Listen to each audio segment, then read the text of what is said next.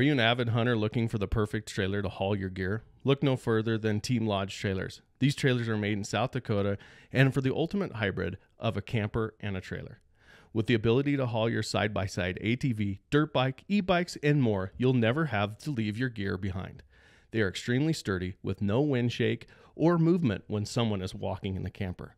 Plus, they are waterproof and designed by hunters who actually use the product. The bear-proof Base Camp ensures to safety while out in the wild. You'll also love that these trailers are outfitted with the only accessories and the features you want. Premium components are used in every part of the setups, making Team Lodge trailers the best choice for your outdoor adventures. Hey there, fellow hunters and shooting enthusiasts. Are you tired of ear ringing shots and the fear of permanently damaging your hearing? Nobody wants to be that old guy. Look no further than Silencer Central. These top of the line silencers not only protect your hearing, but also allow for that second shot if needed. The target's not even spooked by the crack of the rifle. They also provide a ship in barrel threading service, making the process easy and precise. Speaking of easy, don't let the paperwork pro- process from the ATF deter you. Silencer Central makes it easy. They will walk you through the online forms over the phone. Upgrade your hunting game and protect your hearing with Silencer Central. Appreciate you coming on, Derek Wolfe, the main, the man, the legend, the Man. legend lion hunter. Yeah, it's wild. It's it's so crazy to me that that people know me for killing a lion now. You know, it's like Well, I think they know you from a lot more than that. yeah, but the people people will see me out in public and be like, "You're the guy that killed that lion, right?"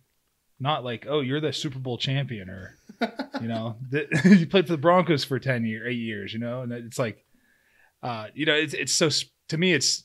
I told you this whenever you brought me that plaque or the uh the thing you made me with the cover, that I've been on the cover of Sports Illustrated. I've done all this and done that, and been on the you know covers for different sports magazines and stuff. But to be on on the cover of Eastman's was like, holy shit! Like I couldn't I couldn't believe it, man. I was like shocked. You I know you said that. I thought there's no way that's true. It's You've so true, man. I- Illustrated. I know, but it's like I, I I expected that. You know what I mean? Like I expected for that to happen. You know, it wasn't like, you know, I expected to be, you know, in those kind of those kind of um, situations where I'd make big plays and big games, and it, that's what happens. right? But to be on the cover of Eastman's, growing up a bow hunter, and you know, that was like every bow hunter has an Eastman's magazine in their, you know, sitting in their coffee table at their house. You know, Yeah. every little farm where I'm from, up in Youngstown, south of Youngstown, Ohio, so northeast Ohio.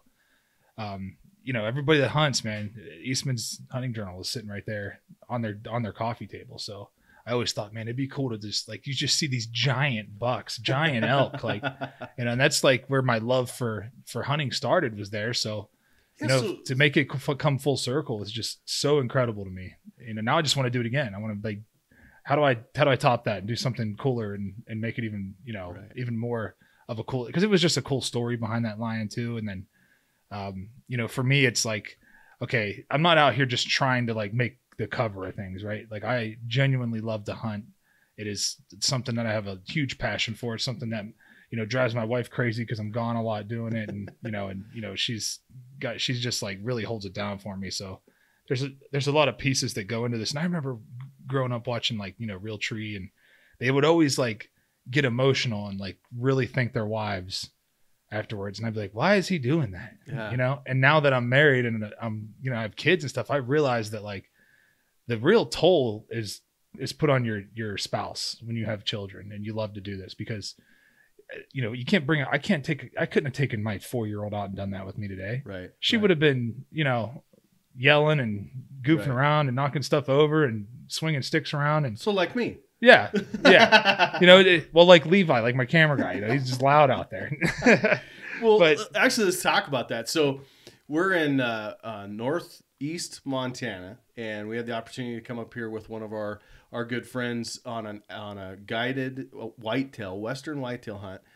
and um, it, it was unique because you were able to, to kill a hell of a buck, and uh, that should be on YouTube. Should be on your YouTube. It'll Yeah. be on the Outdoor Channel um, to to see this adventure. But it's neat to see a passion come through from somebody that has you know you've accomplished so much in your life that but you still get that passion for hunting.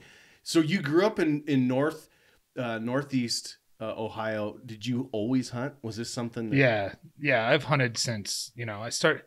So the we'll start from the beginning, right? Yeah, so yeah. um, my when I was really young, my stepdad would go on like little random hunts here and there, and um, you know he'd hand me a 410 and stick me under a tree, Yeah. and Don't shoot. don't yourself. move. Well, he'd say don't move, you know, and if a deer comes by, shoot it, you know. so I'm like, all right.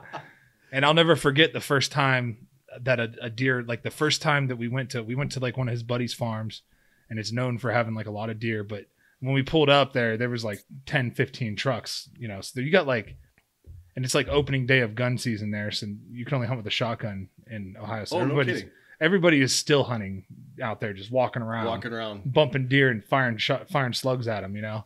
and this is a not a huge farm. Like we're talking like 200 acres, 300 acres max. Wow.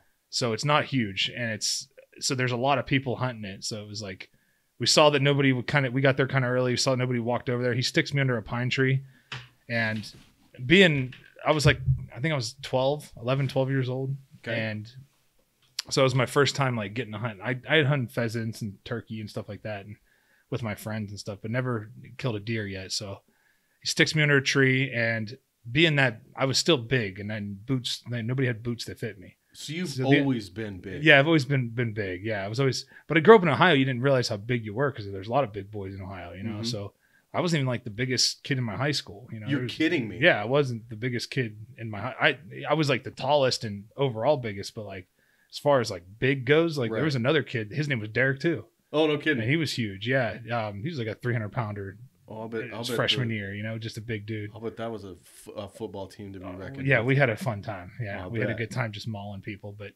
um, so he sticks me under a tree, and I had these steel-toed boots on that were his like work boots, and it Oh was freezing cold. I mean, freezing cold. I was, it was snowing. There was like three inches of snow on the ground. It was like perfect deer hunting weather. You know, Yeah, but not perfect for not steel perfect for steel toes.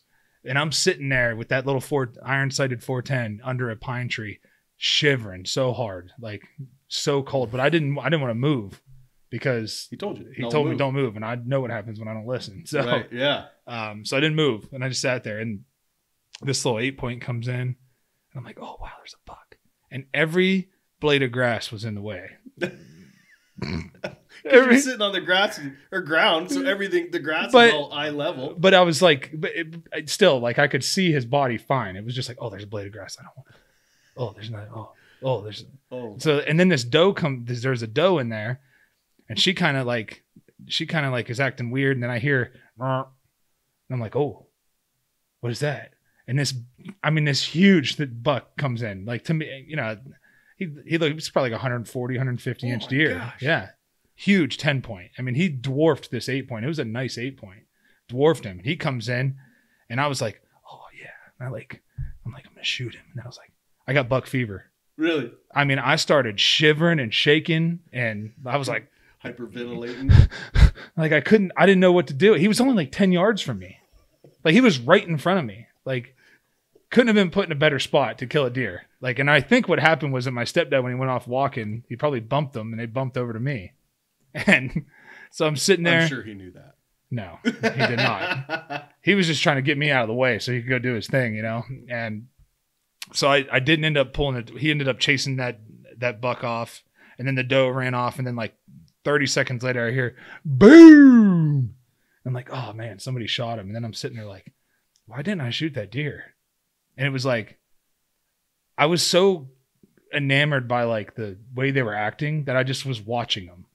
You know what I mean? And just watching how they acted, and it was so cool because I'd seen it on hunting shows, you know, growing up, you know, watching Primos and Realtree Outdoors and all that right. stuff.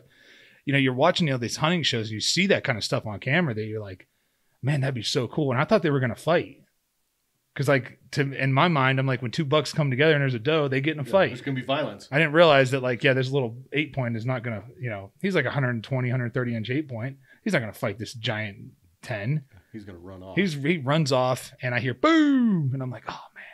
So I sit there for like another two hours, freezing. And like at that point, I didn't care if I saw another deer. I was like doing everything I could to try to stay warm. You know, I was just sitting like in a ball. He finally comes down and gets me. Goes, "You see anything?" I was like, yeah, I saw a couple deer. And he's like, well, why didn't you shoot one? And I was like, oh, I didn't have a shot. And he was like, Oh, geez. well, where were they? And I was like, they were like right there. He's like, what do you mean you didn't have a shot? It's like 10 yards. And I was like, I don't know. And he's like, he just like shook his head and was like, all right, let's go. Yeah, he's just disappointed. You know, he's like, all right, well, let's go. So we're walking out and strung up in that in a tree right there is that eight point. Somebody else. Not Somebody your- else. Not your stepdad. Not my stepdad, but somebody else shot that eight point.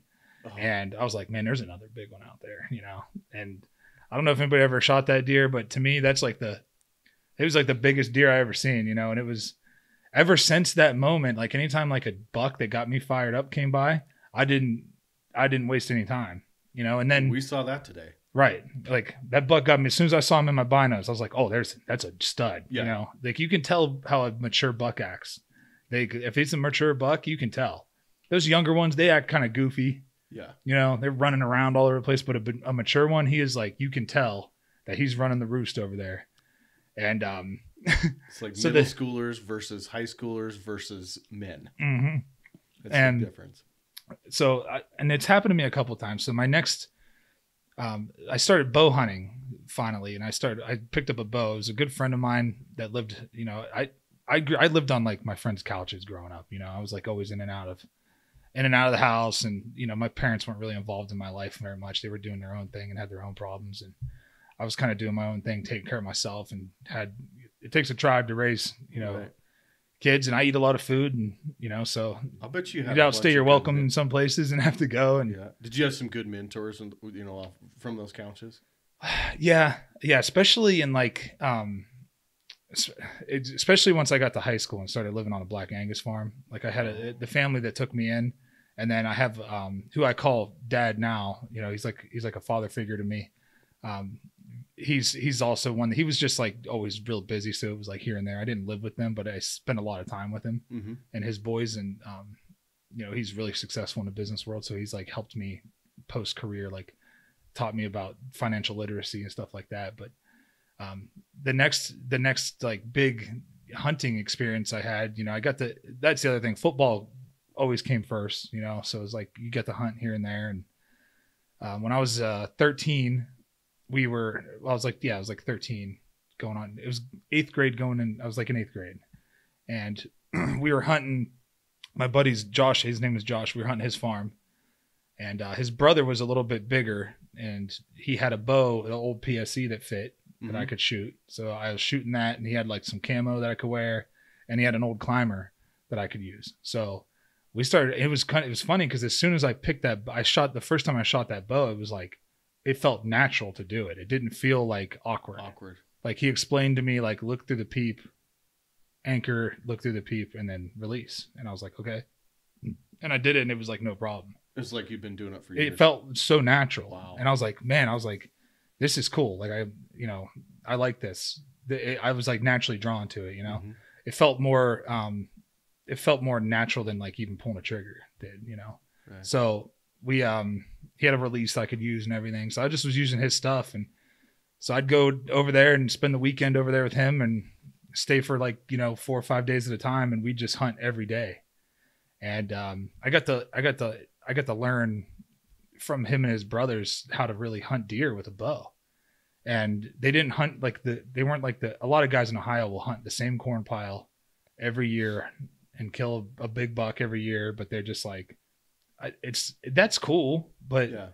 like if I'm hunting one big buck, cool. But like me, I'm like I want to like see different parts of the woods and you know try different strategies and try to like out scheme a deer and play that little mental chess game that you play with them.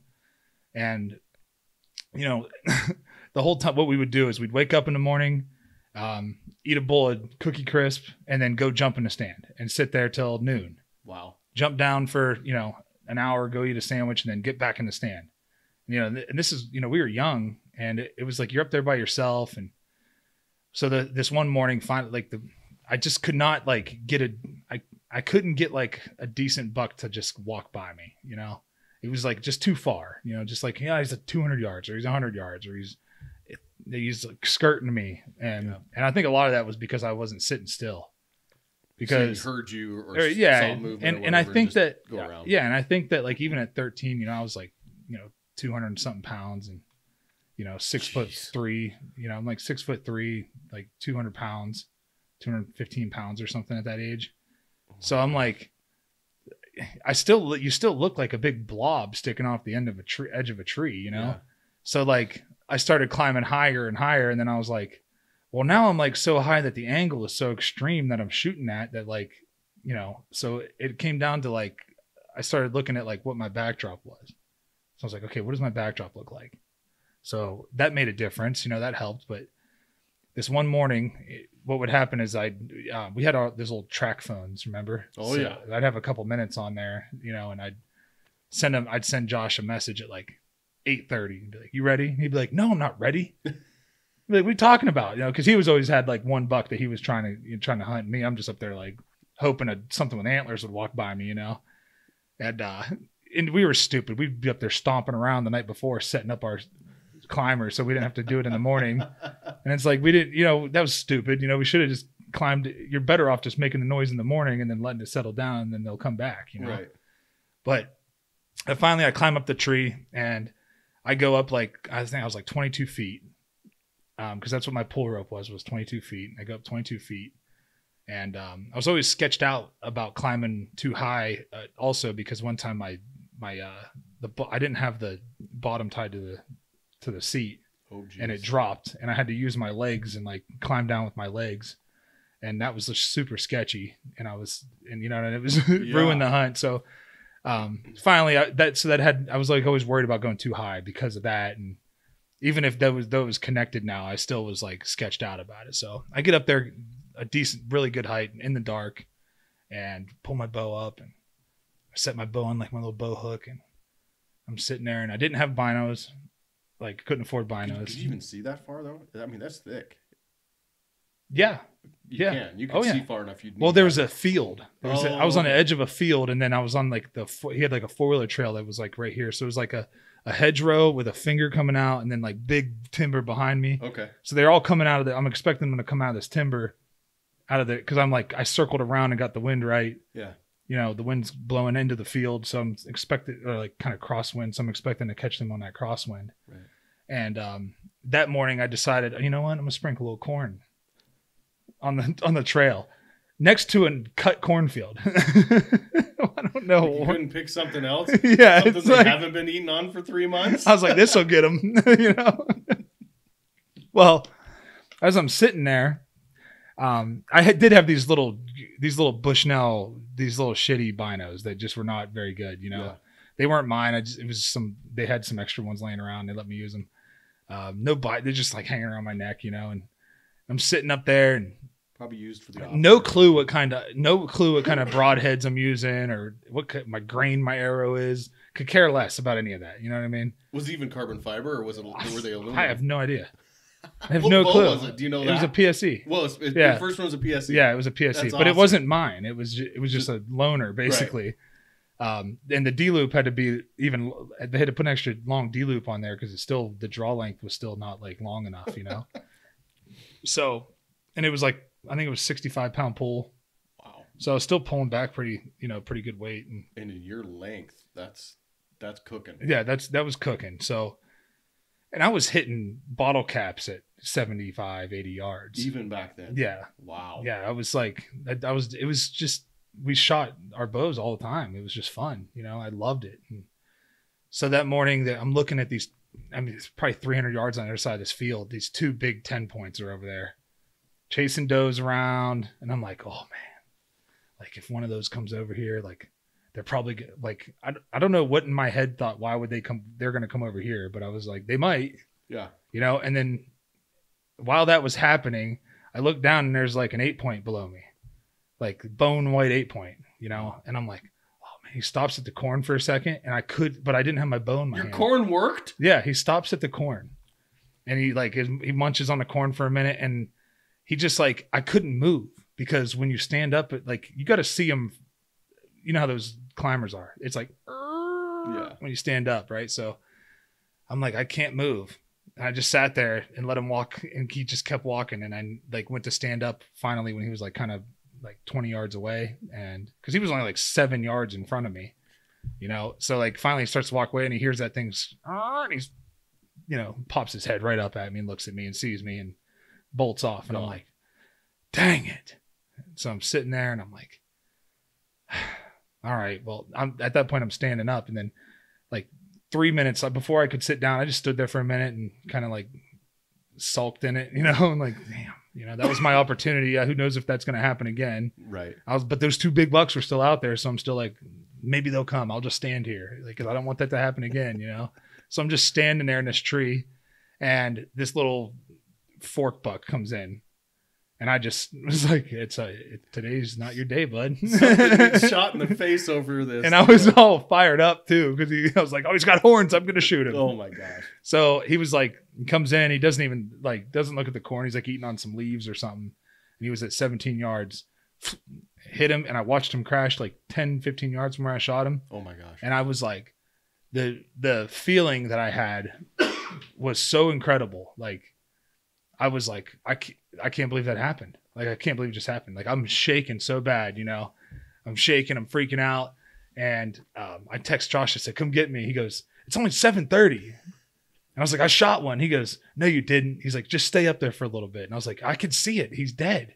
Oh And he was like, all right, I'm coming to get you. So he comes out, he gets on a four wheeler, comes up there and gets me. And he's like, he's like, I just want you to know I bumped my target buck on the way up here. He was walking right towards me. You know, he's all fired up. But then we saw the buck was laying there dead. And when you're, you know, we didn't care what their antler size was. We just, No. the fact that we had a deer on the ground, I was so jacked up and um, just holding those little forks, man. I was so like so happy, you know, just and then being able to eat the meat from that. So did you guys wait? But did you know what to do with it after it was dead? Yeah, yeah, I knew so how to gut a so You'd deer. been around. You'd been around enough that. yeah, I knew how to gut a deer, tag it, Okay. and take it to the processor. Um, we take it to the processor. And, um, I couldn't afford to pay for any of the meat to get done, so the processor like hooked it up. You know, Really? He was like, "That's your first deer." I said, "Yeah, man." He was like, "He's like, he's like, all right, you kill it with a gun or a bow?" I said, "Bow." He's like, he's like, "Well, that's pretty impressive," you know. He's like, "All right, well," um, he's like, "Well," I, he's like, "I'll get you some jerky and and some steaks and." You know, you obviously I can't. I don't need all the burger and everything, but like Right. he got me some steaks and some some jerky and snack sticks, and that was like the coolest thing ever, man. Because I was, it was just so, like, I don't, I don't know how to explain it to people that don't do it because you know the good thing is most people that listen to this, Yeah. doing all, it, so we all so, understand. So it. we all we y'all get it that there's something like primal about it, you know. Being like- able to bring in your own food and and and go f- you know field to plate literally is one of the most gratifying things a human can do It really is because it's I, we're coded. yeah You know, we talked about this uh, last night. You know, we are coded to like survive off of things that we kill. That's what we're coded to do. or It- grow it doesn't have to be just Yeah. kill it could be grow Well, I think it's even more so kill. I, I know that farming is still new in the in the in the grand scheme of like the lifeline of humans. that's true Farming is still fairly new. it was gathering Yeah, it was gathering and hunting is how we survived. And to be able to go do that and to do it like I know it's not stick bow, primitive hunting, whatever, but like to do it with a bow is still hard. You still got to get close to them. You still got to, you know, I know we have all this technology now, you know, we got range finders and this and that, but Right. you know, at the end of the day, man, like you still had to like outsmart a deer that it's like somebody walking into your house, you know what I mean? And being sneaky in your house and you, you just come walking, you like get out of your bed, walk into your kitchen and somebody sneaks up on you and shoots you. Like, yeah, and you know you you know the presence of somebody that's in your in your house even though you never heard anything yeah, you know something is off no matter you know no matter what what advantages you know six hour rangefinders or or stabilizing binos or whatever rifle bow you you know that sixth sense because that's your house and that's what they Yep. have they have a sixth sense because that's their terrain and, and in my opinion to outwit a mature animal and that's what this is about is trophy hunting selective harvest we've talked about that last Mhm. night selective harvesting a trophy is in my opinion it is the perfect uh, culmination is it's that's me that's my winning that's why i call it a trophy is because i won that yeah. i outsmarted I that outsmarted him. Yeah, I didn't. I didn't just jump out of the truck and shoot him or Yep. this and that. Like, there's that's the funny other thing, man. I've had opportunity. I've had opportunities growing up to where I could have just like we were just like driving around the four wheeler and you know had a muzzle loader during the end of the season, and I could have probably shot a deer that, but it was like eh, it doesn't feel it doesn't feel right, you know, like Mhm. something about it just didn't feel right. So I just didn't do it, you know, because I I think those were those those um those values like as a hunter and Ethics. the ethics and those things were ingrained into me by people that did it the right way. You know, um, the people that I hunted with, they all hunted the right way. They did it. They did the way you're supposed to by the book. You know, um, So let's talk about that. you and I were talking a little bit last night about, you know, that as hunters, we need to come together more than we separate. yeah, And and is there an ethical way to hunt? Yes. But it but it doesn't match just because mine doesn't perfectly match yours doesn't mean mine's wrong or yours is wrong. exactly. It's just different. If you want to ride around in a truck and blast it out of the door, as long as, in my opinion, as long as it's legal, I don't care. have at it. Yeah, If you want to shoot behind a high fence, have at it. That's just not something I'm interested in. You know Right. what? I don't I don't wear red sweatshirts. It's just not something I'm interested in. Yeah. You do. That's cool.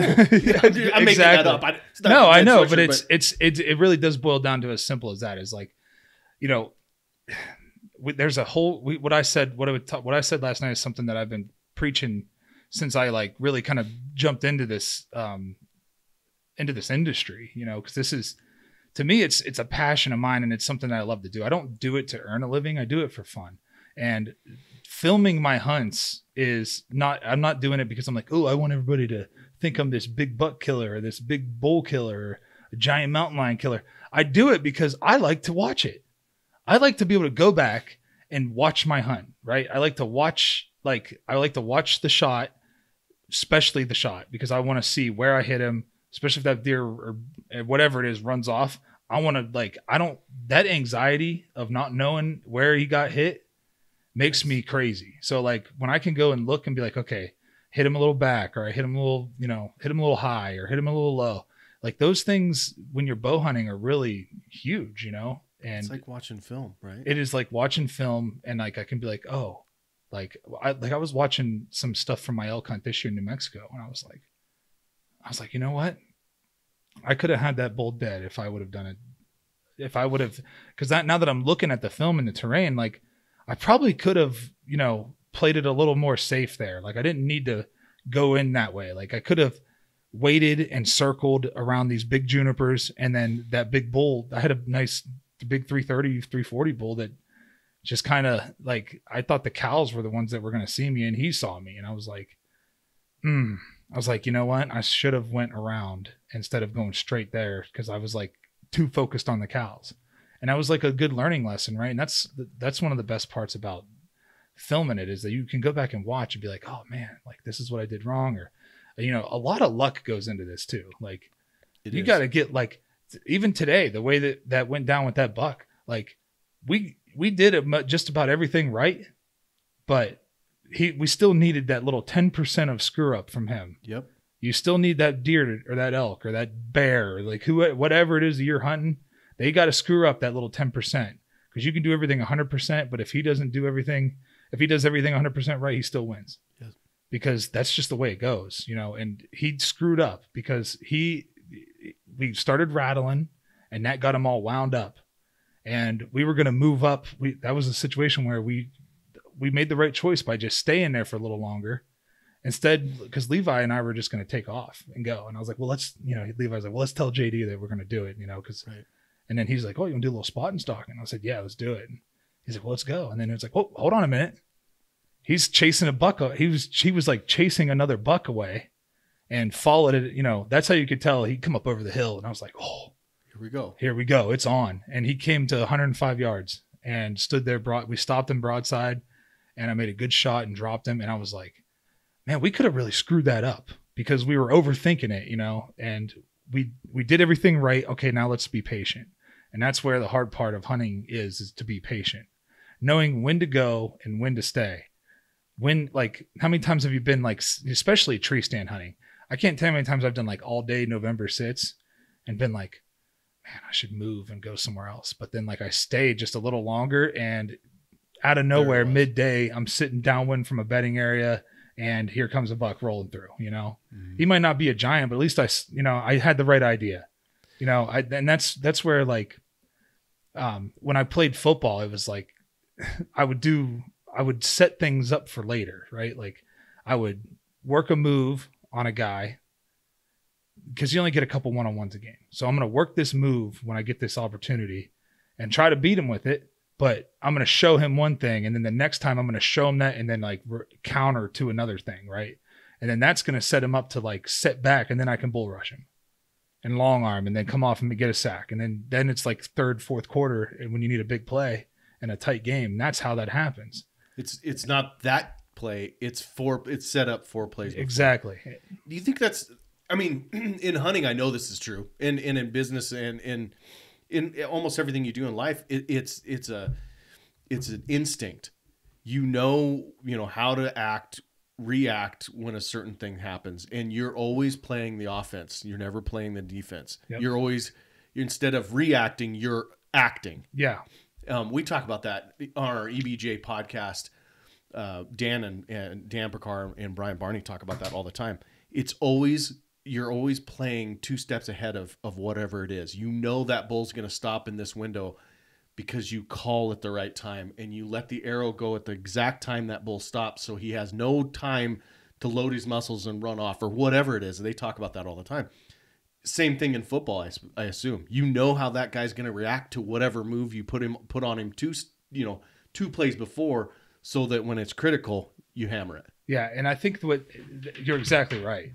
And I think that the most important part of all of that is the reps. So I would do it in practice. I would do those things in practice on on our scout team guys and on our um, on our guys that were on like our second team, like the guys that are practicing against you and running those the other team's plays. I'm do I'm working those those scenarios with those guys. Mhm. Even in like one-on-one pass rush, a lot of guys get caught up and would get caught up in like, oh well, everything's on film, right? So you, you don't want to be in film and be like, oh, I, I got beat, you know, because you just it looks bad. Right. But sometimes I'll let it. I know I'm going to get to go against him two, three times, so I'll give him one thing. Like I'll give him one thing in this first rep. It might not work. It might look silly. All right. Then the next one, I'm going to do the same same thing but different, like in a different direction. Right. So now I got him guessing.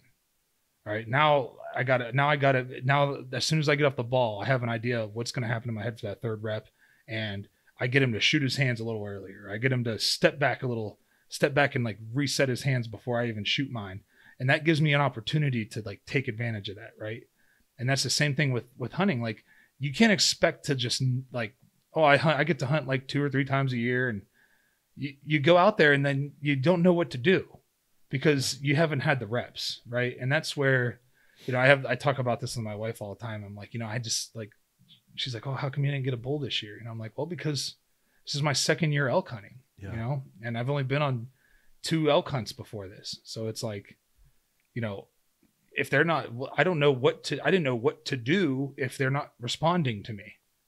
Like, do I sit water? No, because that's boring, and Yeah. like nothing wrong with it. I'm just saying, like, I don't For have you, it's boring. for me, I don't, it's boring to me because I'm like, I know there's bulls all over the place in here. I want to just like go find him and try to sneak on him, you know. And um, what we ended up doing was, you know, we got we followed this herd, this big herd bull, for eight miles, and then I'm glad we did because it got to I got to experience something that people go a whole lifetime and don't get to experience, which is like a real rut fest with like really big bulls, you know? Yeah. and to see you know to see 330 340 inch bulls cower to another bull that's that big it's like it's something cool. It's so cool you know? And we had we followed that herd bull and he's like you know 60 cows followed them forever you know for eight miles and then they they ended up running into like another herd bull that was like Ooh. 350 360 and then this other like 340 bull came he had a bunch of cows they all three like ended up in the same spot. Oh spot my gosh, the perfect storm. It They just was- crashed into each oh other. Oh they were just ripping bugles and the cows are meow, meow, you know i mean it was just so much fun it was so cool to just and i'm only like 150 200 yards away from them you know sitting there watching this go down and their wind is right and um I'm, then they finally like i'm like I'm waiting for them to start fighting so I can like really just run in there, you know, and they wouldn't fight. Like none of them would fight. They were just raking trees and you know, putting on a show. You know, you know what the how they do. Yeah. You know, peeing on themselves. Yeah. And, you know, raking trees Oh, and yeah. yelling and Just nasty. They're just yeah, nasty. They're just so nasty. um, and They're just nasty. and I and I was like, oh man, I was like, I was like, what's gonna? He was like, just wait a second. They're gonna chill out and bed down. Like they've been on the move, and they're gonna get. They're gonna want to chill out here. Like all the cows are settled down now. Like there's spikes everywhere. There's one bull that had seven on seven on one side. I mean, huge rack on the left side, and his right side was just like a like a, a, like a point, and then it hooked down. Oh, jeez. And I was like, man, All he's cool looking mess. too. I was like, any of those bulls were cool. But the one bull I was after was this, I mean, he was huge. I don't know what he measured and taped out at, but to me, it was the, you know, It was the that's alpha. exactly what I'm looking for. And every bull that like came around him, like, you know how they stop and just stare and cower and Mhm. then like slowly move away. And that's, that's what the, every bull that like saw him did that. They did not want to fight with this dude.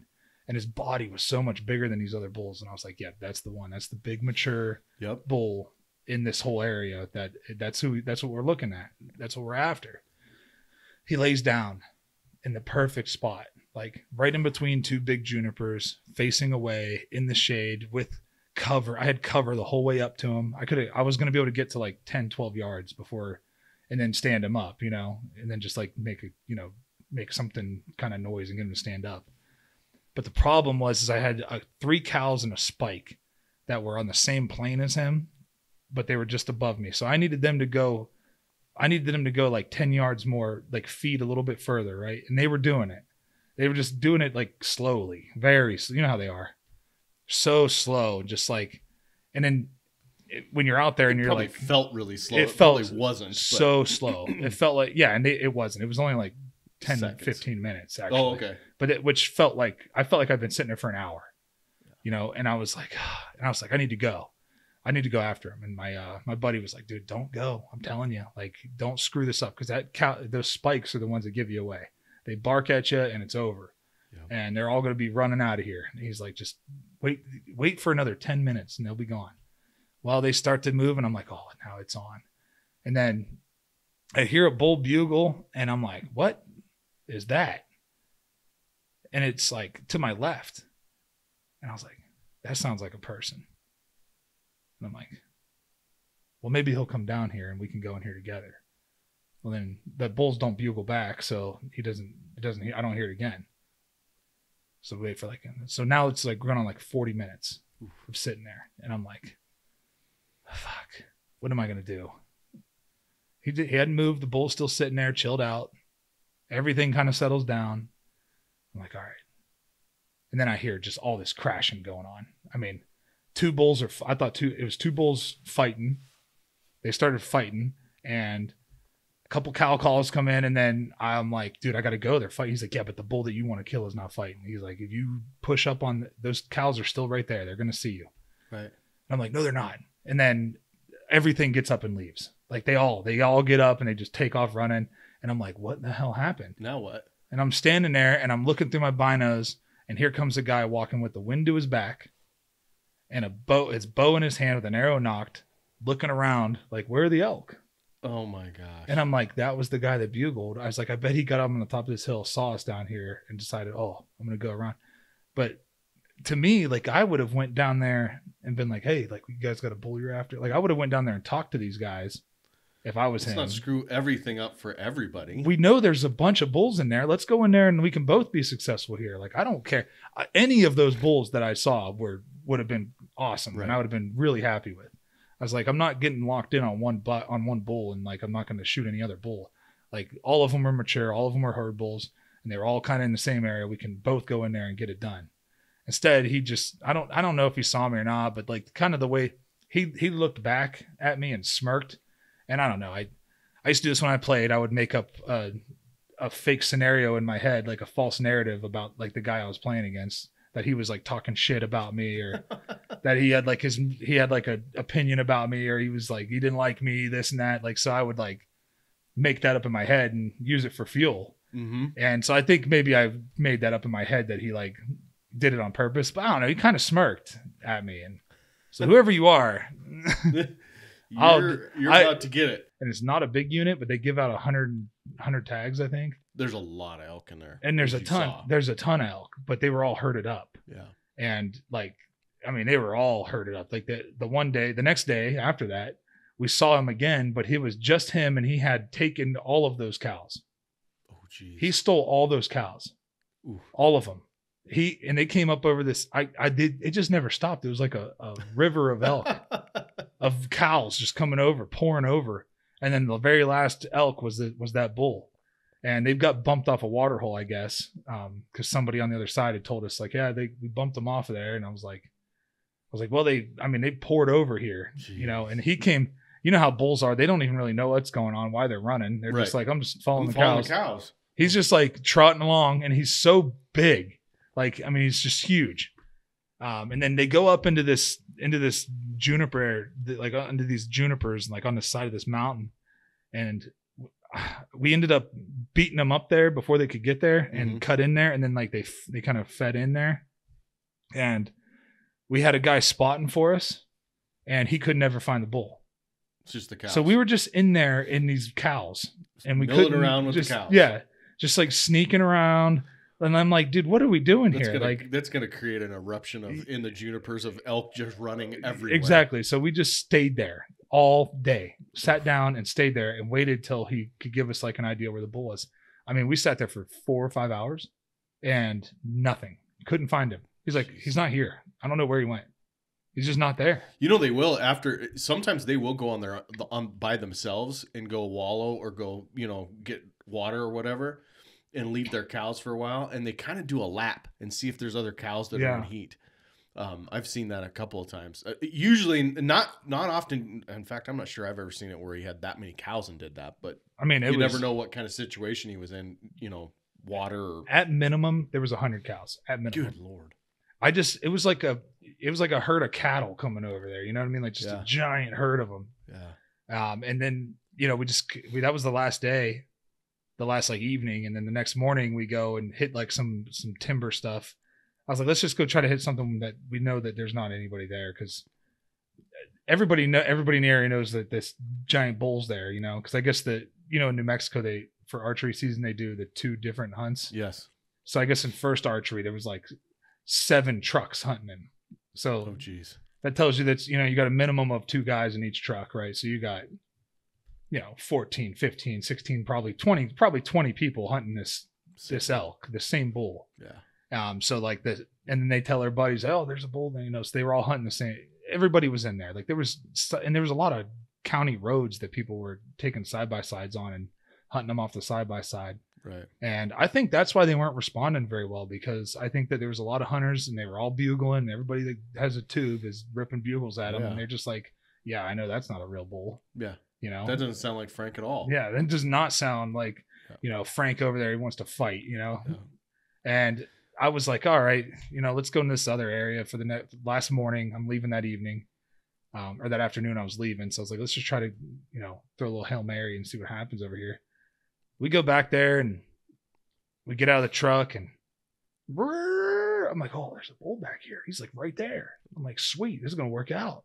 It's like last day. I was Yeah. like, this is how it goes with Yeah. these elk, you know, like you just got to keep after him. And so I'm so we I rip we rip a bugle. He answers back. I'm like, oh, he wants to play. And then I hear a cow. I hear that he's got a cow down there. So I'm like, oh, this is perfect. Our wind is right. Um, and then he shuts up.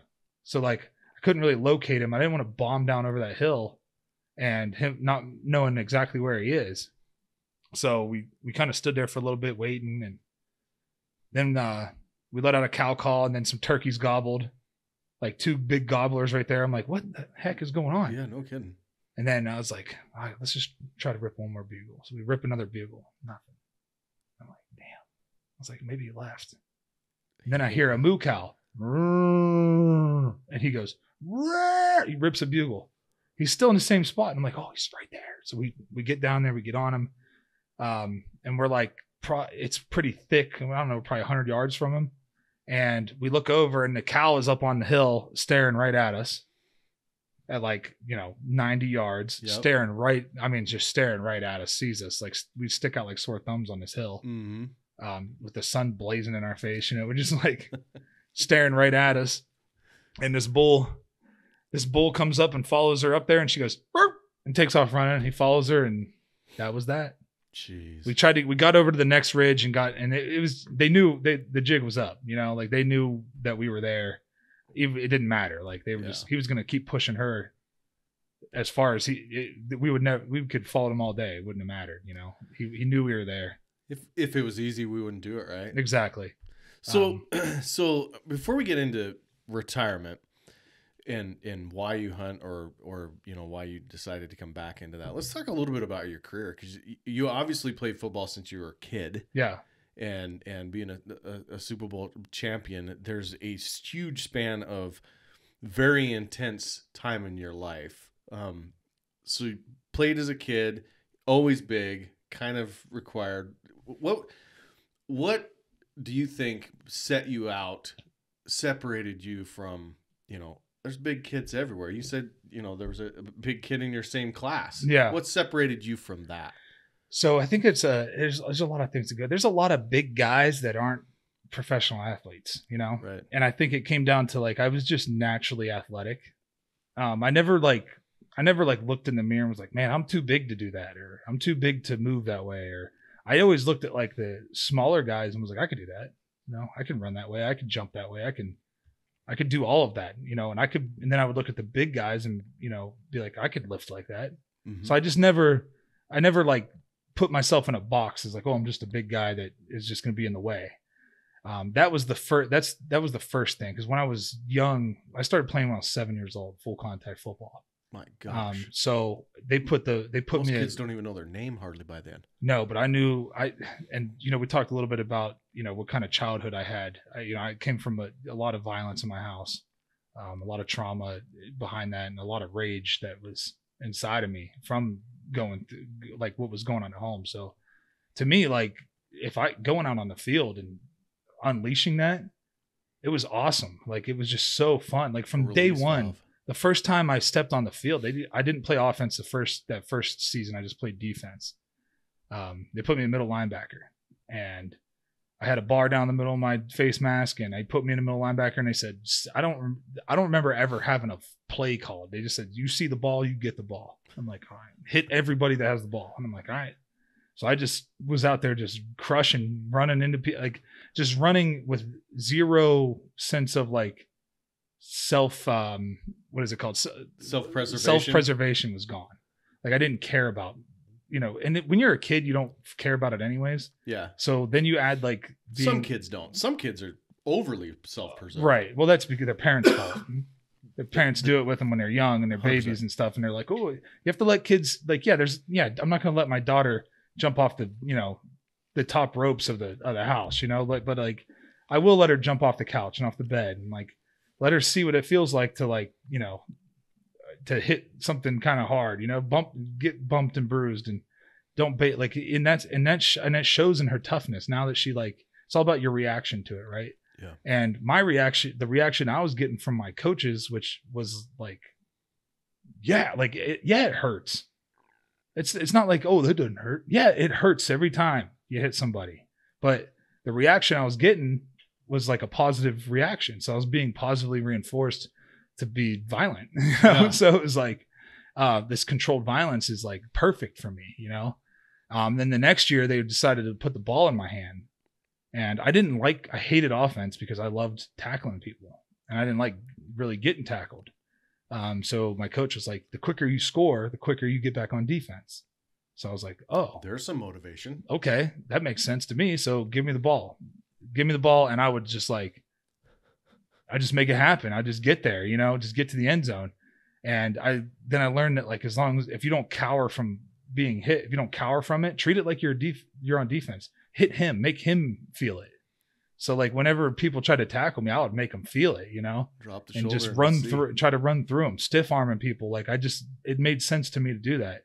And I watched a lot of NFL football, so I was watching, you know, Reggie White and Brett Favre, and um, that watching them win win a Super Bowl and watching the way that like people ran the football and tackled people. Like that's where I was watching my how to play, and um, like I carried the ball. I went to seven different elementary schools, Oh so I played for um, one, two, three, for four different schools. I played for four different teams until I got to um, high school.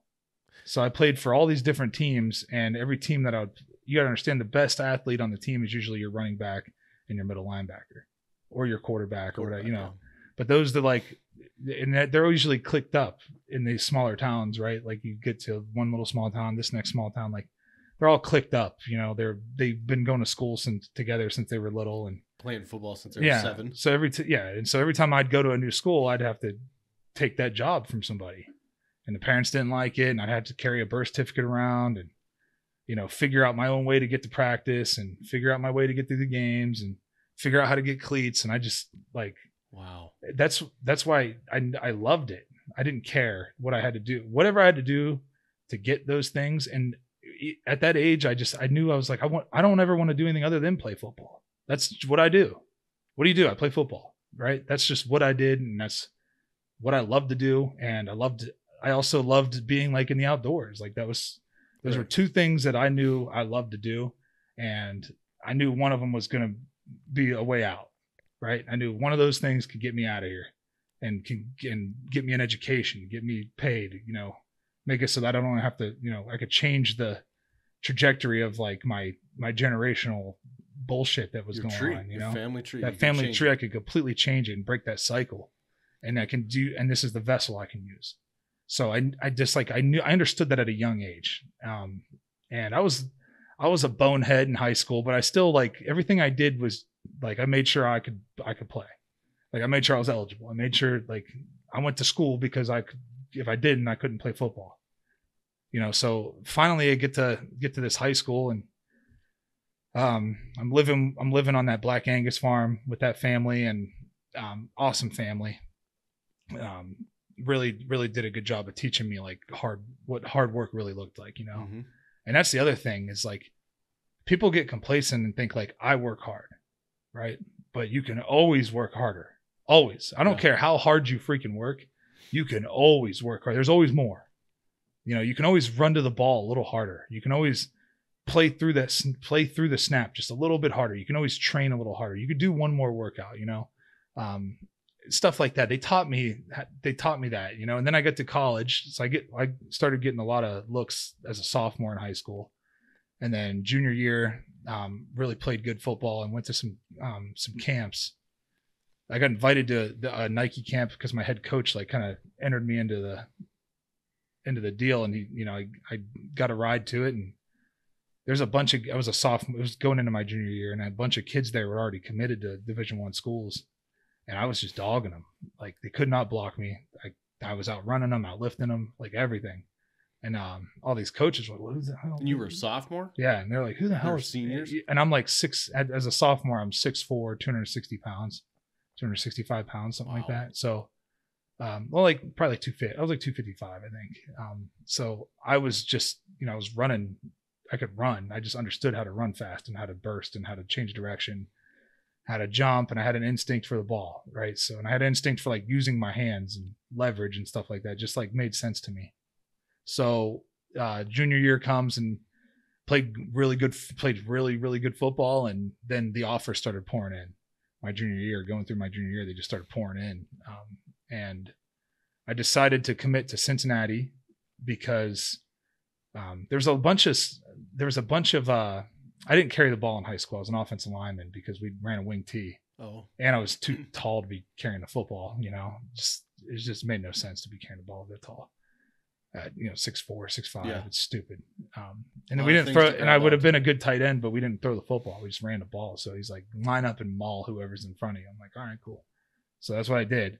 And a lot of the big 10 schools wanted me to play offensive line um, because i'm a white boy and you get a stigma as a white boy they kind of like they kind of poop on your athleticism you know they're like uh, yeah we don't care you're just a hard head guy hardworking you know effort guy um, that's you get that stigma as a as a white guy on the defensive line. It's just the way it goes. It's whatever.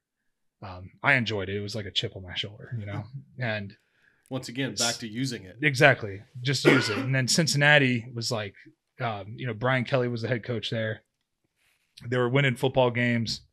Um, they were, you know, they were in the Big East, which was, you know, which was a BCS, you know, type of divi- type of um conference. So I was like, okay, I'm gonna get to play against West Virginia and Pitt, Syracuse and Louisville, and those are the schools I'm gonna be playing against. So I'm gonna get good looks from NFL scouts and Mm-hmm. like that's gonna work. And he, I knew I'd get to play right away. Like I wasn't gonna have to deal with the red shirt, and because if you give me a red shirt year, I'm gonna I'm gonna screw it up. Like I, I'm gonna I like to have fun too much, you know. Uh, I was a wild boy and I had a lot of fun and I trained, I worked hard and played harder, you know, like that was kind of the way I did it. And it was working out for me. So I, why would I stop, you know? And I knew if I redshirted, it was going to be a bad idea.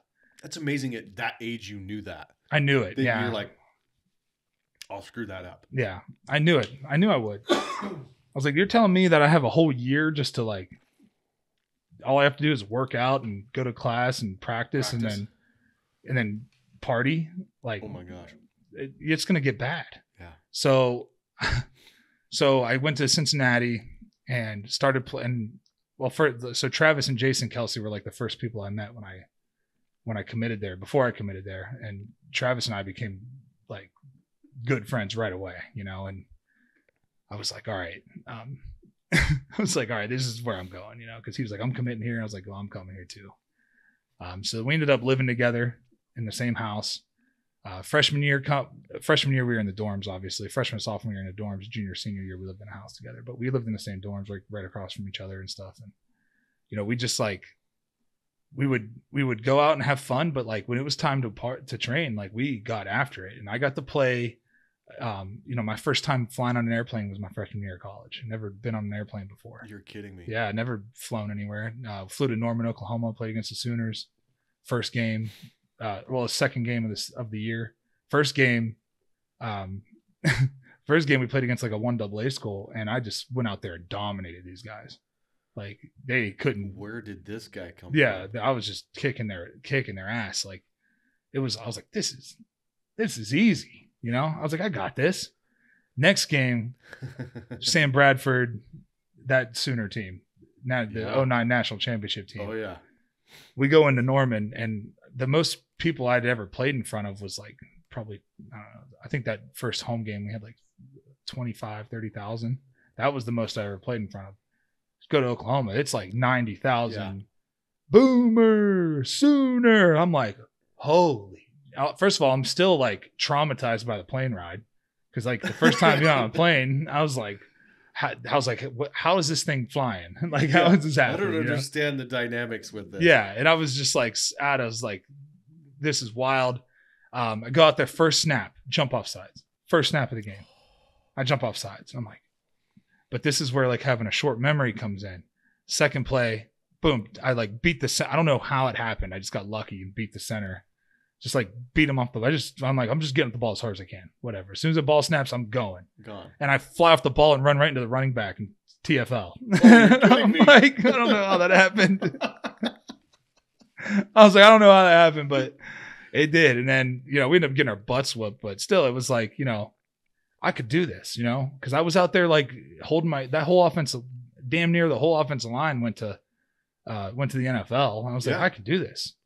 Um, and then my sophomore year comes and I started every single game and had like six, seven sacks. And we went to the Sugar Bowl, played against Tebow Oh wow. his senior year.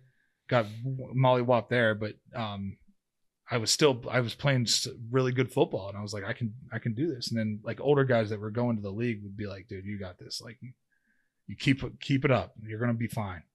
I was like, all right. And then junior year, Brian Kelly leaves that sophomore year. We get another guy named Butch Jones. He comes in and he's like, you're lazy, you're soft, you're this and that. And I'm like, what the hell? Like, I thought, you know, I thought I was like hot shit. But then I, but that's where like I put my ego aside and was like, you know what? He's just trying to get the best out of me. So I just like went full bore. And that junior year was tough because we didn't win a lot of games.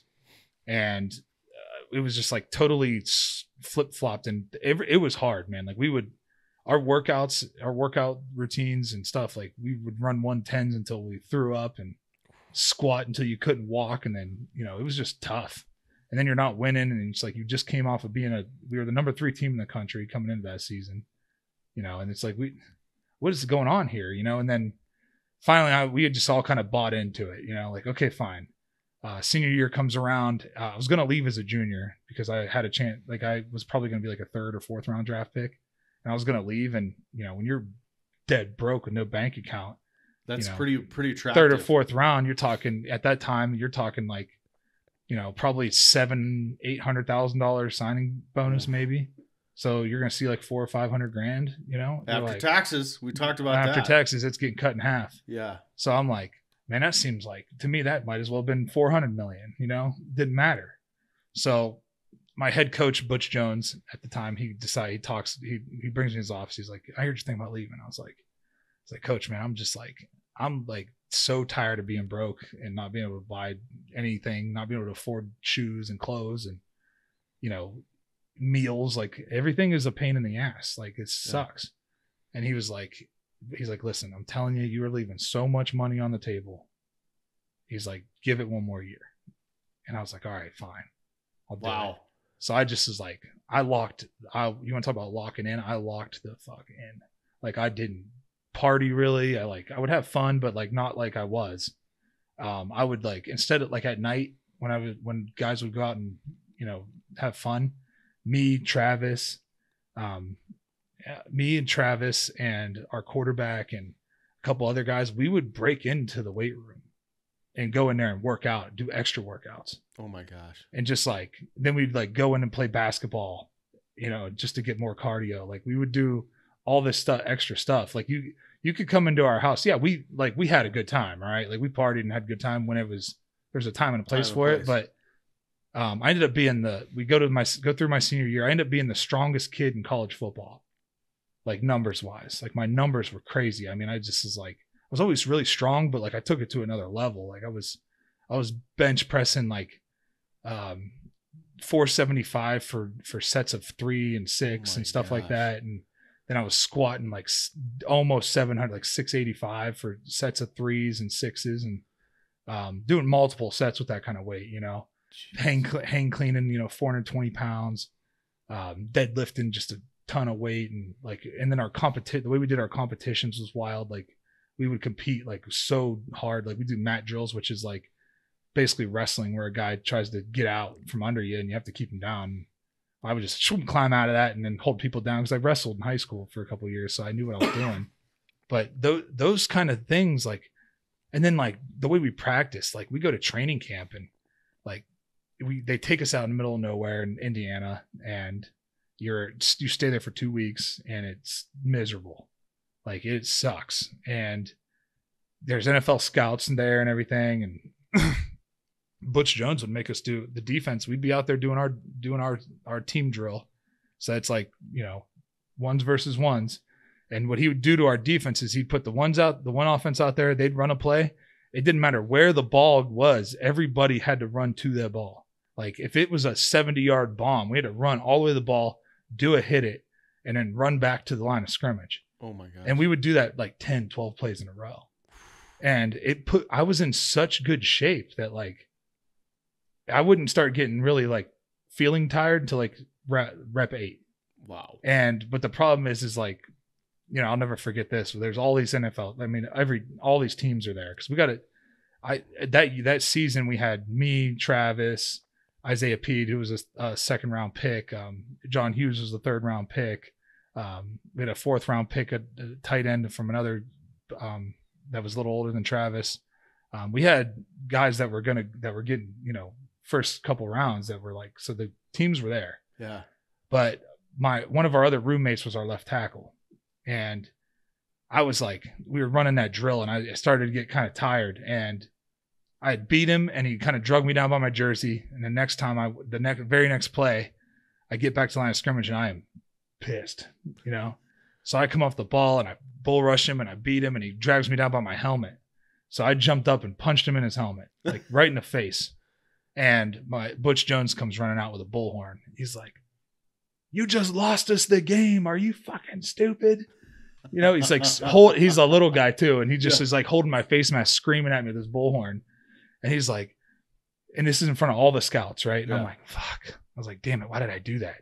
And he's like, go over there. He's like, go over to that, go over there and run gassers until I tell you to stop. And if you know what gassers are, but it's you run from one side of the field, one sideline to the other sideline, down and back is, is a half gasser, down, back, down, back is a full gasser. And I was running, he said, full gassers. He told his strength coach, coach, full gassers until until practice is over. And I'm like, and this is like the first like half of practice. So And like you're wore out now. I'm already wore out and we're in full pads and it's just like he's like, keep your helmet on, don't take any of your pads off. And I was like, all right. And I didn't say a word. I ran over there. I went over there and I ran those gassers. It didn't like didn't make a I didn't like make a body my body language was good the whole time. I didn't act like I didn't pout about it. I Yeah. just did it. Practice ended. I ran up. We broke the huddle, and I went into a. I went went in the locker room and lock full body cramp, just Oh completely my gosh. depleted of everything, right? And I like kind of pass out a little bit, and I wake up in a cold tub with none of my clothes on anymore, just my girdle on, and I got IVs in my both both my arms, and it's funny because I thought that that actually hurt. I thought that whole thing hurt my like hurt my the way I looked to, to these coaches. They probably thought I was like a loose cannon, you know. But when I was going through the draft process, um, because I went, I had a, I was the Big East Defensive Player of the Year. Mhm. I, you know, I was All American. I, you know, I, I just kicked. I, I played so good that season, and had so much fun. We won the Big East again, and we won the Big East three out of the four years I was there. You know, so it was a good time. Jeez. You know, I went to a bowl game, played against Vandy, and beat them, and um, then I was going through the draft process, and when I was at the combine, I'll never forget. I forget um, which coach it was, but I never, I'll never forget the question. He was like, he's like, "How do you deal with like punishment?" You know, and I was like, "What do you mean punishment?" And he was like, "Well, forget the question." He's like, "What?" A, I think it was Sean Payton. I feel like it was Sean Payton because he asked me a couple of good questions, but he was like, "You know, we had we were watching you practice one day, and you got kicked out of practice, and you had to run gassers." And I was like, "Oh yeah," and I was like, "Here we go." I was like, "I knew it." You know, in my head, I was like, "I knew it. it. I knew it." He's like, "He's like, you know what impressed me?" He's like, "You ran you ran as hard as you could every gasser, and never said a word about it." You came in, broke the you guys broke the huddle down, you ran to the locker room. And he was like, that is like the sign of a leader. You know what I mean? Because you could have easily, you know, you were done. You, he's like, I don't know what the situation was, why you got sent over there to run gassers, because they're over there goofing around. They're not, they don't care about any of that stuff, you know? Yeah. But he's like, the fact that you did it and you didn't cry about it and whine about it, that like, I have nothing but respect for you. And I was like, oh shit, okay. So it's not a, that's like proof to you, right? It's not about like what happens to you or what your response initially is. It's how you react afterwards, right? Like, uh, you know, I, w- I took accountability for it. I didn't like make excuses for it. I was like, you know what? I was wrong. I shouldn't have done that. I cost my team. I could have lost a game, you know, doing that. And, you know, so that's that's really good. so I practiced like I played, you know, and it was that I never I didn't get any more personal fouls until I got I even when I was in the league, I still like I continued that. Like I didn't want to ever do anything to hurt the team, you know. It was Um, very impactful. It's really good advice. It's not what you do, it's how you react to it. Or it's not what happened to you, it's how you react. to it. Exactly. You that's what you have control over. Yeah, you don't have control over like I, I didn't have control over like my home life as a kid, right? What I did have control over was how I let it affect me. Right. right yeah it it made it sucked like i did i would go to i would look at other kids and see that they had both parents around and i didn't have any parents around and i was like man this sucks you know but am i going to wallow in that and feel sorry for myself or am i going to like do something about it right um You're do something change your tree. change the change the trajectory of my of my path. Change your stars you know like Yeah. and i did i did that. I was i i just i know always i always thought like okay if if i make a mistake i can't like wallow in it. I gotta just like bounce back from it. And I, you know i i take that into i, I take that same um mindset into like my my life after football. You know it's like i'm i'm out here like kind of just kind of wandering doing different things that i like to do and it's like i don't really i make mistakes all the time but I, I try to just learn from it and i don't have any fear of making a mistake. I'm not afraid to screw up you know? It's like a lot of people go through life and they are so afraid of rejection or failure or all of that the anxiety behind that like there is something freeing to saying fuck it. Yeah. like not fuck it like i'm not gonna try it's like no whatever happens happens all i can control is my effort and my mindset and how i react to the failure that have if it comes because it's gonna come like if you don't fail in life then your life was way too easy and you probably never accomplished anything So you you had a, a change in coaches. You were a junior, hmm and he called you lazy and all that stuff. Do you think he just saw more in you? Yeah. He saw more in you that you weren't that you weren't acting reacting like you could be. Was that is that He's he knew that I he knew that I could he saw my potential, right? And he was like, You're only tapping into it. He's like, you he's like getting by on your? He's on like, your- every snap should be played like it's going to be your last. You know, and I'm like, fuck, like, I- Yeah. that didn't make any sense to me for a long time until like I started doing it. Like once I did it, and I was like, I get it now. And think good things just happen. Like you can cover up a lot of like, you know, things where you're lacking, like some, you know, being tall and and big and you know sometimes you're la- you you don't have that like quick little quick twitch that you need to like you know get around somebody right? But if i use effort to like really you know go make a play good things are going to happen. And it did. Like Right. just playing hard. Just playing hard you know? It's like yeah you're playing hard in between you know you play hard for one two seconds. A football play is six seconds long. So you got to go max effort as hard as you can for six seconds and then recover in 25 seconds.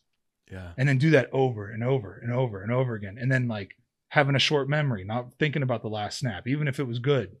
Don't think about that. Like go to the next snap and just moving on to the next one. That's how i that's that's why like coaching is so important. Having a good coach that like pushes you. You know a, a great coach once told me that if i don't say anything i had a great defensive line coach my junior and senior year too. So like he he helped me take my game to another level too. And I'll never forget one day he was talking about practice and you know I was like he was like you know you got to love practice. And I was like I said this and I don't know why I said it. it was just you know sometimes you have a dumbass attack and you Yep. just open your mouth when you shouldn't. And I was like and I was like the leader of the group you know and I was like coach nobody loves to practice. And he he got so pissed his name was Steve Stripling love him like I have so much love for this guy he's got a big mustache and he played in, for the CU Buffs, you know, back in the day and um, coached a lot of guys and made it to the league, a lot of guys.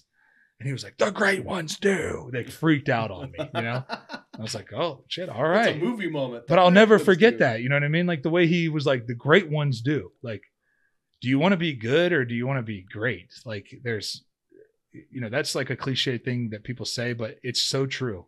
And what separates good from great is like, it's a fine line, man. It is not very, it's not like, oh, I, I wasn't, I hear all the time people will be like, oh, must be nice to be, you know, six foot six, you know, 290 pounds and this. I'm like, I could be six foot six and 350 pounds and sloppy and not care. But I never wanted, I did, I wanted more than just to be a big body, you know, guy that was in the way, you know, and just get a scholarship and, you know, screw around and, you know, I could have easily done that, but that's the easy way out. It's called complacency. And I just never wanted to feel, I, I felt like it was a disease. I never wanted to feel that, you know? So I just, I just pushed and pushed and pushed and had good coaches like that. And then I get to the NFL, I get drafted in the second round.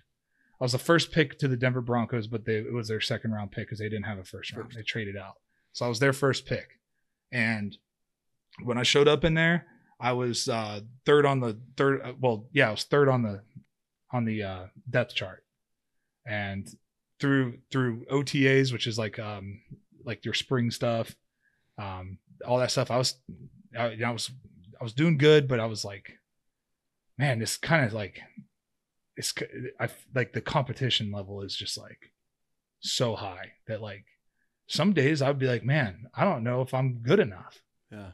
but you could either that's where you have a choice right that feeling is valid right you it's a valid feeling because now i'm playing i'm not just playing against like the best guy at cincinnati or the best guy at you know pitt or west virginia or you know whatever school it doesn't matter i'm playing against literally the best in the country Yeah, the best of of all those teams. There's and 30 everything else. there's 32 teams and you get you get 53 on each roster so i'm playing against the 0.01% of these of athletes so like they're gonna get you sometimes so i was like i'm a, i made a hard i made like a, a hard line in the sand i was like i'm just gonna make sure that i get them more than they get me and that was like that was like so i stuck with me because it was like as long as i can as long as i win more than i lose I'm in the positive. I'm good. You know, so I just would like, you know, if I if I would lose a rep, you know, I would like really focus on how I lost. How did I lose? Like not why did I lose? How did I lose? How did I screw that up? Like because at the end of the day, the only person that can stop you is you, right? I made a mistake that he capitalized on because I'm good too. Like, don't forget that you're good too, right? They like, picked you. they picked me for a reason, right? So finally, through training camp, I just like I figured it out. Like, play. It's all it's a te- it's all technique. Like, technique and effort is like the key to success. So it's just like why you film your hunts. You want to say Mhm. you want to see what it what can I what can I improve the next time I'm in that situation. Yep. Never be and I and that's the other thing with coaches. Coaches never want to tell you something twice. Like when a coach would tell me something, I it stuck with me. Um, I never had a I never had difficulty learning plays and what my responsibility was. I knew what my job was, and I was going to do my job. Right, do your job as at the best of your ability. That's all they're looking for. Right. Like they're not asking you to go out there and do something, you know, be Captain America, do something incredible. Do your job. Right. So my job was to stop the run and help Von get sacks. And I'm like, all right, We can do that. I could do that. Let's go. You know, and, and put and affect the quarterback. Like that So- that was to me that made sense. So so I'll tell you what happened is I go to we go in my fr- my rookie training camp and I just slowly was playing better than the other two guys. And these guys were vets, like, um, and you don't realize it till you're an older guy in the league. But once when you're young, you don't know it. But when you're older and you have a family, these younger guys are coming to take food off your plate, and that's what I was doing. away. I was coming there to take their job, and I did it. There's a way to do it, go about that though, you know, respectfully.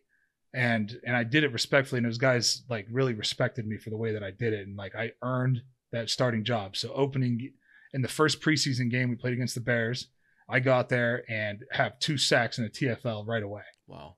And he was, they were like, they pulled me and told me I didn't have to play the rest of the game. I was like, oh, and uh, I remember Willis, remember Willis McGahee? Oh yeah. Willis McGahee came up to me and said, Hey, Brooke, you know, nobody ever gets pulled out as a rookie. And I was like, Oh, that's, that's wild. He was like, he's like, you, you're doing everything right.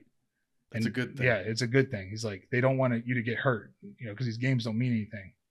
So, first game, play against the Steelers, and the Steelers were supposed to draft me in the first round. They called me, told me they're going to draft me in the first round. Da, da, da. They drafted an offensive lineman. So, I grew up fifty, you know, fifty minutes from PA, from Pittsburgh. Yeah. So, like, the, I fly into the Pittsburgh airport when I go home. Like, that's how we, you know, that's that's my hometown team, and I knew I just was like, I got to ball out on these dudes. I, I got to go crazy, and I did. I just went out there and went nuts. Had a, had my first sack against Big Ben in that game. Had a T, a big TFL, batted ball, uh, like a fumble recovery, Wow. like just went crazy, you know. And then it just kept rolling. And then we went to the playoffs and lost in the first round of the playoffs. And I was like, dang, you know, and the culture that I was brought into right away, you got to understand Peyton Manning was our quarterback. Yeah. Like I get drafted by the Broncos. John Elway's the f- guy that calls me, and then Peyton Manning texts me, and I'm like, "Holy!" You're like, what in the heck just happened? yeah. And Peyton was like, I'm, he would come and have breakfast with me because like he he understood like how to. He was like the best teammate ever. He understood that like the key to his success was also went through me as well. Yeah. You know? Like I, he needs me just as much as I need him, and he never made you. He always made you feel that way. That like he needed you. Just like back in college when they or in, in was it high school or or uh, middle school or whatever where he, where he said you want to get back on defense, get on offense. Peyton Manning knew in order for me to get back on offense, I needed my defense to do what they got to go three and out. do. We got to make them go three and out. And then Yeah. he understood that like even if we're not going to score, you know, a ton of points here, we're going to try to hold the ball as long as we can to give our defense a break. And that's just the way he thought, you know. And he um, he would come and encourage me at breakfast and like. Again, I was a wild boy. Like I had fun. Um, Mhm. You know, that there's a couple times where it was things that were like, yeah, you probably should do that. You know. um, and he would be like, "Hey, man, like Put his arm around you and go. he'd be like, "Yeah, you don't need to." He's like, he's like, maybe don't do that. And I'm like, you know, but he did it in a way that was like, not like a disappointed dad or like a, Yeah. you know, a, oh, you shouldn't do this. It was like a a big brother His sibling. type of thing where it was like, hey man, like I know it's fun, but like, Yeah. you know, do you want to be? He would say things like, "You want to be great," you know. And I'd be like, "Yeah, you're right." He's like, "Well, you know, just lock it in." So Yeah. you know, second my second and then I played really good football that year. Like I was I mean I was uh AFC West rookie of the year. You know, so I was playing good football and I so I took my training to like a whole nother level. Like that I went to I was in South Florida training, still being wild, but down there in Miami and stuff. But, yeah. but I was still, you know, super, super strict with my regiment. Um, second year comes around, and in, in the first preseason game that I played in, um, I bruised my spinal cord and I'm paralyzed. You're kidding. me. No, it I was I was just gonna ask you about how did you keep from being man, it was like it was the first time I'd ever been like really injured, you know, and it was the the this the part that sucked about it was that like I didn't understand what was really wrong with me, and we didn't understand what was wrong. Um, but I was Sounded like paralyzed. You blew your knee up and went. Well, yeah, that's what well, happens. I, or I broke my leg, or Yeah. I broke this, or like tore that. You know, there was no like scientific answer for what was going on. It was just like, um, well, the, you know, your light switch turned off, and I was, I never was knocked out though. Like I was awake, oh my! and I just couldn't feel anything for three hours. You know, and then like it all started coming back. Well, I played again two weeks later. I was back on the field You're kidding me. back on the field against the Ravens because they beat us in the playoffs, and I was like, I'm not missing this game. And I was like really struggling with my mental health because I was having like crazy hallucinations at night. I was having terror attacks at night. I was having like suicidal thoughts. I was having like deep, deep depression. So like the only place I was, and then like my outlet was football. So like every time I got touched in the face or the head, my arms would go numb, and it was like it, it wasn't just like it would. You know when you sit on the toilet for too long and yeah, it stings. full- yeah. It was like twice that stinging was just like so intense and numb that it. But I just like blocked it out and just did it. You know, like there's there's videos of me making plays and then me getting up and just like I'd I'd like celebrate and howl and then like I get to the sideline and I'd be sitting there with just like a dead look on my face because like I was in so much pain. Oh my gosh. And then um I was having a hard time like keeping weight on for some reason. Like I just was like dropping weight. I was like, man, what is going on? I was like, I got all the way down to like 275, Oh, two, and I was like, what is going on? I'm normally like two 290, 300 pounds, you know, like it's not a problem for me to be that weight. It's easy. And I was like, what is going on? Couldn't figure it out. And then um, we go, we go, we're flying to Kansas City to play Chiefs, and we get on the bus to go to the airport, and we pull up to the airport, and I'm sitting there and I feel really weird. Um, like you ever been like you probably felt it on the mountain where you're like super dehydrated and you feel like you're just gonna fall over. Mm-hmm. And you're like, I just need to sit down and have some water, you know. Yep. Yep. Well, that's how I felt. I was like, I feel like I'm dehydrated. Something's going on here. And I'm like a three piece suit, you know. And my buddy, our offense, one of our offense linemen beside me is trying to talk to me, and I'm just like, eh, you know, like. Not there. And he's like, "You all right?" And I said, "Yeah, I just need some Gatorade." And he like throws me a Gatorade. I chug this Gatorade, and as soon as I put the cap on, I just it all goes black. Everything was went black. It was like everything was coming to close in, like, and all the light Oh, just yeah. went away. And then I wake up with I wake up with my shirt open, and they're like shoving their thumb into my sternum, and I and it hurts so bad. And I was like, "What the fuck?" And I woke up, and then I like passed out again. Um, then I wake up 36 hours later in a hospital with Whoa. strapped to an ICU bed with like my these like little boxing glove things on my hands. It looked like little boxing gloves like on my hands and I was strapped to the bed. I had IVs everywhere. My throat hurt really bad and I had all this stuff wrapped around my head. So what happened was I had a seizure. So I had a seizure and then when I was in the hospital, when they got me to the hospital, they were like I was like in full flight or flight mode. So I was like ripping IVs out of my arm, throwing nurses on the ground, Oh my gosh. like freaking out, you know, and they not not saying a word. So they thought I was on like drug, some kind of drugs, you know. So Mhm. they, um, they were hitting me with, they were tranquilizing me, and it was like, I'd like kind of slow down for a second, and then I'd like, like explode again. Like I broke, they, t- they tied me down, and I broke one of the beds. oh my gosh. So I just like went crazy. Um, and then uh, my throat was hurting real bad. you still hear it sometimes. It happens when it gets dry. Mm-hmm. But um, I the reason why I was strapped to the bed is because when they they got me to they got me asleep the one time and got a breathing tube into my throat Ventilator. and I ripped it out. I tried to rip it out. I like woke up and Not tried to rip it out, and they're like, "What the hell is going on with this guy?" Um, so they had to induce a coma. So when I and I woke up, um, with the breathing tube still in, and then like I fell back asleep, and I'm like, what the hell is like? I was I remember like I thought I was dreaming. I was like I thought it was a worst yeah nightmare I've yeah I thought I was just in a dream, and then finally I, I wake up without the breathing tube, and I'm like sitting up, and I'm like super confused, and um, one of our trainers is there, and he's like, hey bud, like. Everybody around me is like, we thought you were gonna die because my heart rate was at like 16 beats a minute Oh my gosh. and they're like, "You thought you were gonna go to cardiac arrest, like this and that." They tell me all this stuff, like like you had a seizure, um, but you're you know, we're gonna try to figure out what's going on with you. Um, so that whole we ended up making it to a Super Bowl that year, and I didn't get to go and play. Mhm. Like I got to go, but I didn't get to play because I was all. Um, I tried to go back to practice after that, and I had like another seizure. So Oh my god. I don't know what it was that was going on, but like all my adrenals were drained. Like my uh, everything was drained. I was just running on like I don't even know what I was running on. I was like at like twenty percent Oh my god of my capabilities. Somehow still doing it, you know. Um, and it was just really scary. But then, so I started. So what I did was I had to like reconnect my brain and my body. Like I had to like, and when I say that, I mean like I had to. There was a bruise in my spinal cord from that initial hit that never healed. And every time I got hit, it just re-bruised it, and there wasn't any fresh. That's right on my SC one where that happened. Oh So right at the base of my brainstem. So um, the reason why I didn't, I wasn't fully paralyzed like for good is because I have twice as much fluid as the normal human, even somebody of my size would have. really? Yeah. So it's like I'm built for this shit, you know? like I was like born and like in a like in a lab to like play football. You know, it's Really? like yeah. So like, it they said what happened was he's like it must have bent it bent your spinal it like concussed your spinal cord.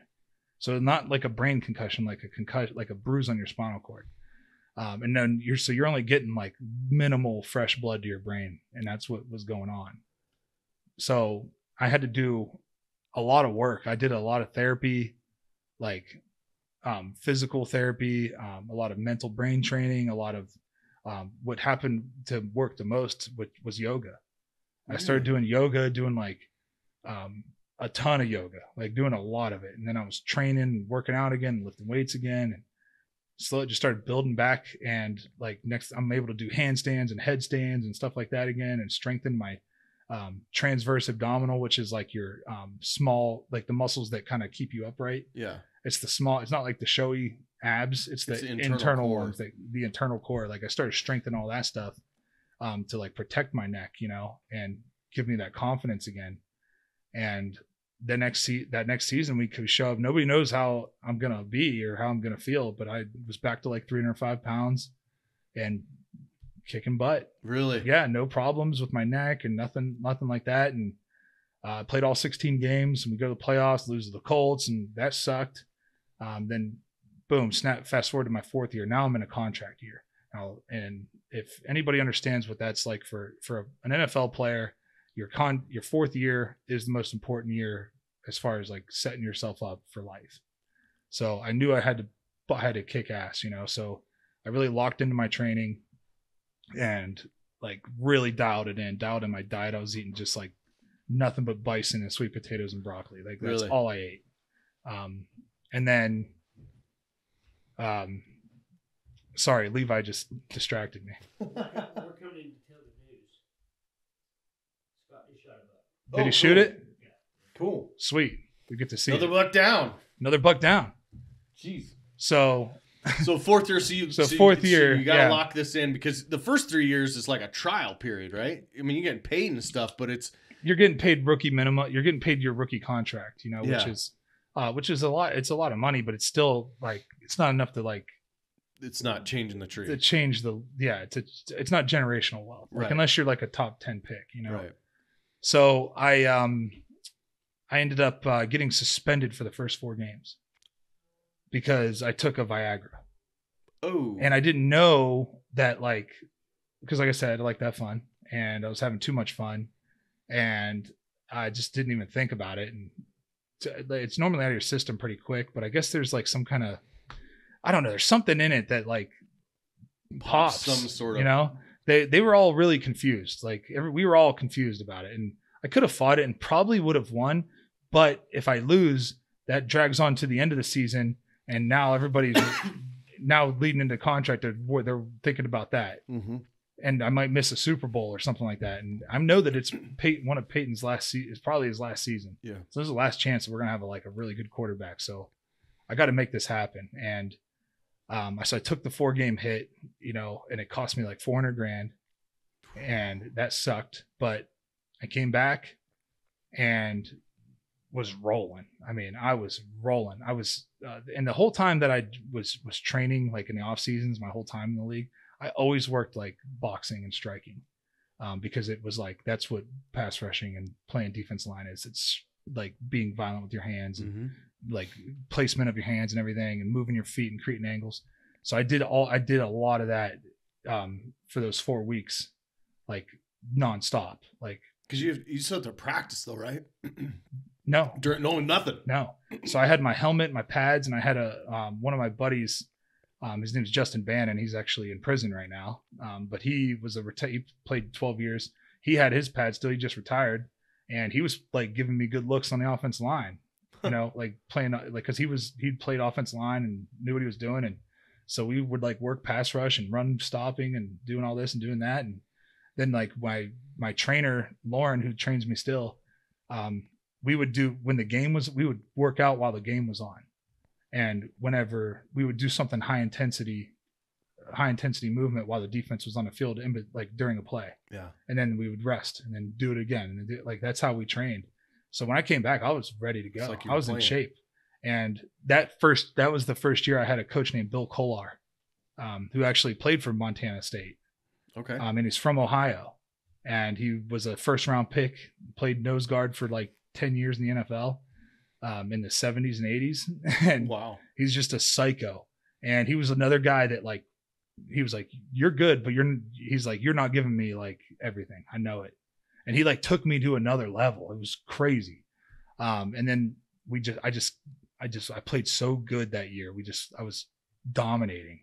It could- And I had a great coach. He was teaching me new moves and this and that. And we were kicking ass and our defense was unreal, but our offense wasn't great. And then go to the playoffs and dominate and kick ass and go to the Super Bowl. And that was like the easiest game we played all season was the Super Bowl. It was- Really? yeah, it was uh, the, like easiest game we played all year. Win the Super Bowl, and I was just like, "Holy shit!" Like, this is what I dreamed. Like, watch it. Remember, I remember being seven years old and watching Reggie White run around the field with the with the trophy with the Lombardi Trophy, and he had a he had the Super Bowl T-shirt over his jersey and pads, and I did that.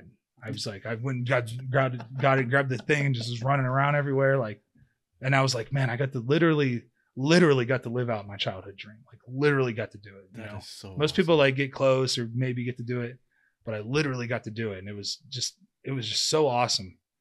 Um, and then, um, I'm actually in. I go to we go to Vegas to celebrate the win, and my waitress is this beautiful woman that wouldn't give me another bottle of tequila and I was like, what the heck, you know? And then we started talking and, uh, you know, fast forward and we're married. oh, you're kidding me. Yeah, we're married now. And, um, I just fell in love with her like right away. And she was just awesome. You know, and I was just so sick of the, you know, empty relationships that I was having. And she just like, I knew she, I, something in my, in my bones, like told me she was like the right one, you know? And I made the right choice because she is just an awesome woman and holds it down for me and holds me accountable and pushes me to be great. And then if you've learned anything from this conversation is like when I have a person in my life that like holds me accountable and pushes me, I do great things. Do great things. So that's that was like really important to me. And have that as a life partner means you're going to be doing great things for a very long time. Exactly. And she she stops me she stops me before that dumbass attack really kicks in, you know? So Yeah.